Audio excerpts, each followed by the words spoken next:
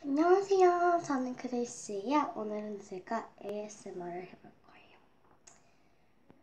음, ASMR은 되게 제가 찍은 적이 별로 없는 것 같은데요. 한번 ASMR 가볼까요? 먼저 슬라임을 해볼 거예요.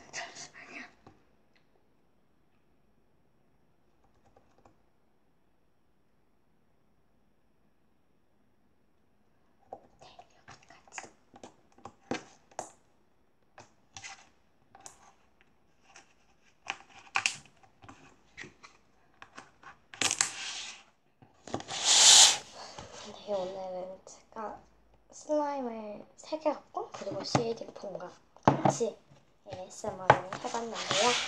어떠셨나요? 무슨 ASMR이 제일 좋으셨나요?